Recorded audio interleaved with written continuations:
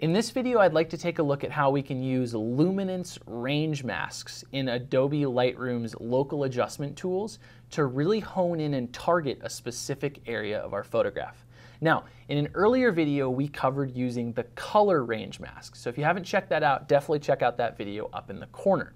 But the color range mask is very useful when you want to target an area of a photograph that varies in color from what you don't want to select. For example, if you wanted to select a red flower on a green background, the color range mask is super useful for that.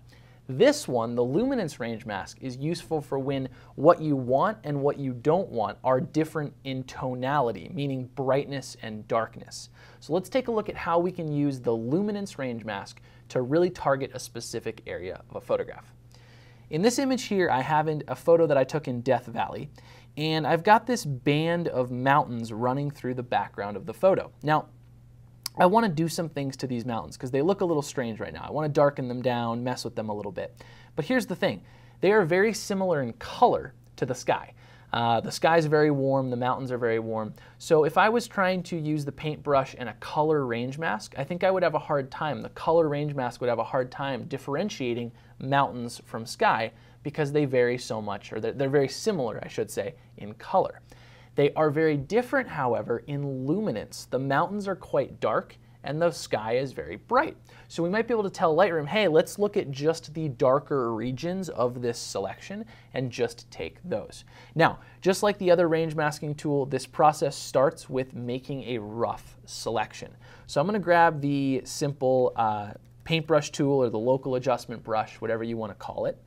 And I'm going to make sure I double click my effect word. And again, if you haven't used this tool, check out my video on using the local adjustment tool because that's a really helpful foundation of knowledge that you should have when you're watching this video.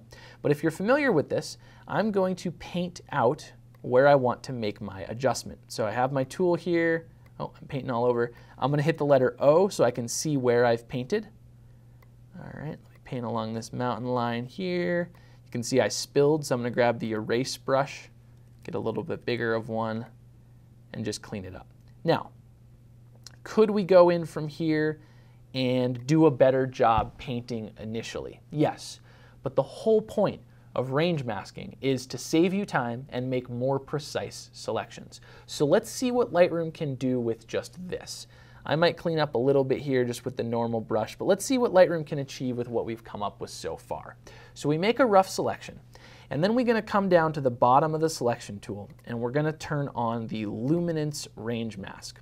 And this gives us a left range and a right range slider, as well as a smoothness slider. So the way to think of left range and right range, uh, it's really it's just one slider, there's two sides to it, is anything between those two little handles is going to be selected. And anything outside those two little handles is not going to be selected. And you can see on that little box, the left hand range slider is for the dark stuff and the right hand is for the light stuff. So the idea is we want to move those two handles in as close as we can get them while still making sure that everything we want selected is selected. So it's very simple. Sounds kind of confusing, but let's start off with the light side of the range. So I'm going to take the right side of that and I'm going to move it in. And I want you to notice specifically that left side, really the whole mountain range. You see as I move that in, kind of shock it before, after, before, after. It's cleaning up the upper edge of that selection. We're basically telling Lightroom, hey, anything that's brighter than 75, don't select it. And the whole sky is brighter than 75. So Lightroom says, ah, I don't need you. That's awesome, right? That's giving us a very precise line at the top of our mountain range. To paint that would take quite a long time. Now let's do the left one. This is saying how dark do we want to select things. So I'm going to bring that up, up and up and up, and you can see we go too far, everything deselects. So there's where we started. Bring it up, up, up, and you can see right about there those grasses, not the grasses, the bushes in the foreground, not foreground, middle ground. The bushes in the middle ground start to get changed or not changed. All right, so we can see before and after, before and after. And we just make sure that we move in that slider enough that what we don't want selected is no longer selected.